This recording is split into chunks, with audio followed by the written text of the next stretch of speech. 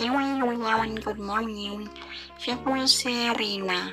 Kasalukuyan po ay pinapagamot siya ni Kalinga Parab.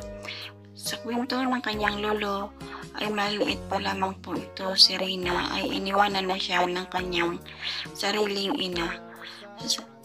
So, ang kanya is ang kanyang lolo na ang nag-alaga at nagpalaki sa kanya dahil sa may ah, konting karamdaman at ito nga ay ah, nagpapagaling at ito ay pinapagamot.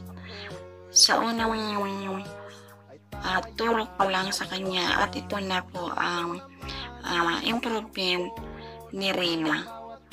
So, thanks God at ah, may